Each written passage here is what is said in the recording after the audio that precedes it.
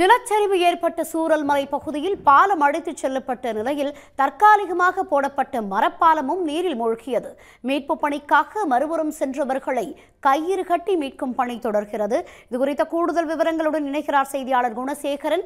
குணசேகரன் இந்த தற்காலிக பாலம் அமைக்கும் பணி தற்போது எந்த அளவில் இருக்கு? விரிவான தகவல்களை பதிவு செய்யுங்க.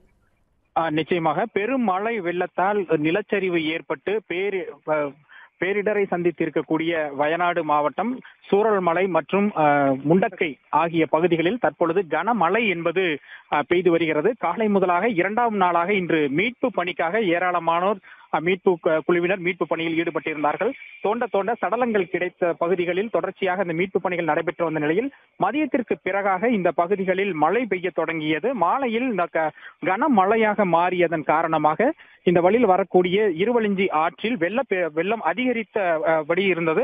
குறிப்பாக இந்த ஆற்றில் வந்த வெள்ளப்பெருக்கின் காரணமாகத்தான் இந்த பெ- இவ்வளவு பெரிய ஒரு பெரிய அசம்பாவிதம் அஹ், நிகழ்ந்திருக்கின்றது. தற்பொழுது பெய்து வரக்கூடிய இந்த கனமழையின் காரணமாக இந்த ஆற்றில் மீண்டும் வெள்ளத்தினுடைய அதாவது வரக்கூடிய தண்ணீரின் அளவு படிப்படியாக அதிகரித்துக் கொண்டே வந்ததன் காரணமாகத்தான் இந்த மீட்பு பணிகளிலும் கூட ஒரு சுணக்கம் ஏற்பட்டது. குறிப்பாக இந்த முண்டக்கை செல்வதற்காக இரும்பு பாலம் அமைக்கும் பணியில் ராணுவத்தினர் காலை முதலாக மும்முரமாக ஈடுபட்டார்கள். இன்று மாலைக்குள்ளாக அந்த பாலம் கட்டி முடிக்கப்படும் என்று எதிர்பார்க்கப்பட்டிருந்த சூழ்நிலையில் மழையின் காரணமாக அந்த பணி நிறுத்தப்பட்டது. ஆற்றிலும் வெள்ளத்தினுடைய அளவும் அதனுடைய வேகமும் அதிகமாக இருந்தது.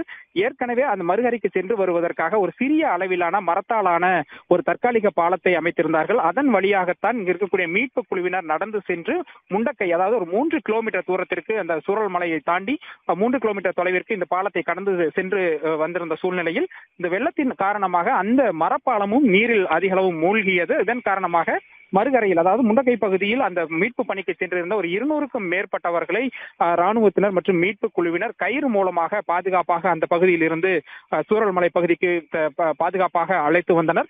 அனைத்து மீட்பு நடவடிக்கைகளும் தற்காலிகமாக மழையின் காரணமாகவும் அந்த ஆற்றில் வரக்கூடிய வெள்ளப்பெருக்கின் காரணமாகவும் தற்காலிகமாக நிறுத்தப்பட்டிருக்கின்றது. இந்த சூரல்மலை பகுதியிலும் தற்பொழுது அந்த அஹ், மீட்பு பணிகளை அனைத்துமே நிறுத்திவிட்டு அங்கிருக்கக்கூடிய மீட்பு நடவடிக்கைக்காக வந்த அனைவருமே தற்பொழுது வெளியேற்றப்பட்டிருக்கிறார்கள். தற்பொழுது இன்னும் மழையின் தாக்கம் குறைந்த பிறகாக அந்த ஆற்றில் வரக்கூடிய வெள்ளம் தணிந்ததற்கு பிறகுதான் இந்த இரும்பு பாலம் அமைக்கக்கூடிய ராணுவத்தினருடைய இந்த இரும்பு பாலம் அமைக்கக்கூடிய பணி என்பது தொடரும் என அதிகாரிகள் தெரிவித்திருக்கிறார்கள். மீட்பு பணியின் பொழுது ஏற்பட்டிருக்கக்கூடிய மீண்டும் இது வரக்கூடிய இந்த கனமழையின் காரணமாக இந்த பணிகளிலும் தொய்வு ஏற்பட்டிருக்கிறது.